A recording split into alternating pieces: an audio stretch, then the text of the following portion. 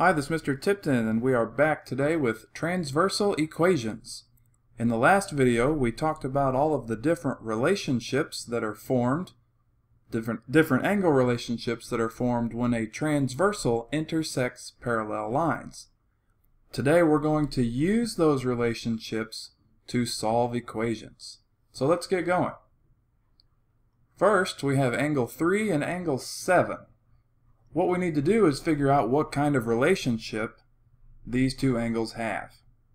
They're both in the lower right section of their group of four. That tells us that they are corresponding angles. And hopefully we remember that corresponding angles are congruent. So what that means is angle 3 is congruent, which is just the geometry word for equal, to angle 7. Angle 3 is 40 degrees, and angle 7 is 3x plus 19. Save the term with the variable for last, so undo by subtracting 19 from both sides, and we get 21 is equal to 3x. Divide both sides by 3, and we're able to solve and get x is equal to 7. The solving is no different than it has been. We're just getting our equations from our angle relationships. Let's look at another. Angle 6 and angle 7. These are right next to each other.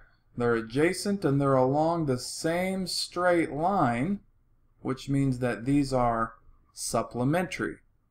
Supplementary angles have a sum of 180 degrees. The measure of angle 6 plus the measure of angle 7 is going to equal 180 degrees. Angle 6 is 6x minus 25 and angle 7 is 2x plus 13. Combine our like terms, we have 6 x's and 2 x's. That gives us 8 x's. And we also have a negative 25 and a positive 13, which is negative 12. Save the term with the variable for last. Add 12 to both sides and we get 8x is equal to 192. Divide both sides by 8 and we get x is equal to 24. It's all about knowing what those what the relationships are between the two angles. In this problem, we've got angle 3 and angle 8.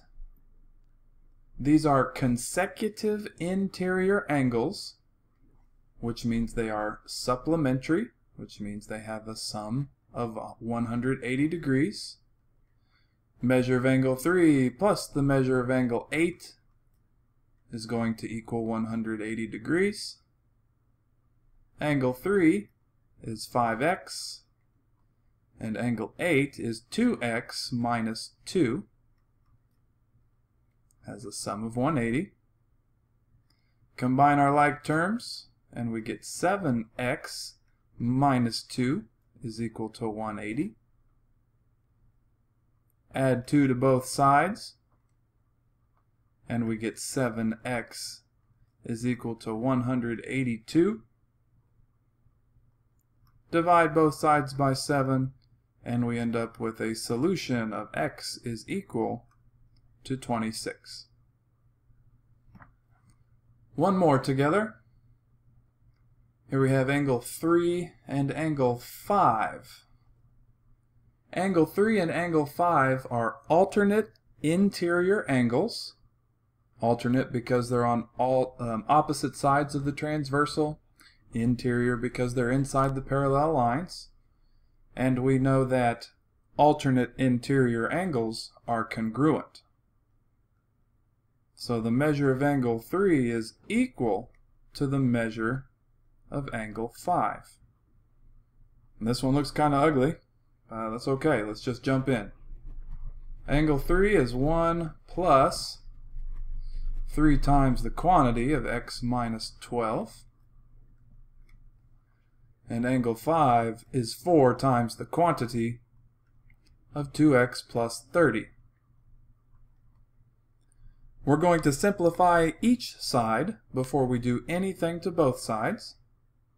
So on the right, we've got 1 plus 3 times x is 3x, and 3 times negative 12 is negative 36, and 1 combined with negative 36 gives us 3x minus 35. On the right side, 4 times 2x is 8x, and 4 times 30 is 120. I'm just going to go ahead and bring that down to the next line. Alright, now that each side is simplified, we're ready to do things to both sides. I'm going to subtract 3x from both sides, get my x's together first. On the left I now have negative 35, and on the right I have 5x plus 120. Subtract 120 from both sides, and now have negative 155 is equal to 5x and divide both sides by 5, I end up with a solution of x is equal to negative 31. So kind of a, a long, ugly equation, but it all comes from the relationship between the two angles. Angle 3 and angle 5 were alternate interior, and we know they're congruent, so it just means that they're equal to each other. If you have questions about transversal equations, write them down. Be ready to talk about them in class. We'll see you soon.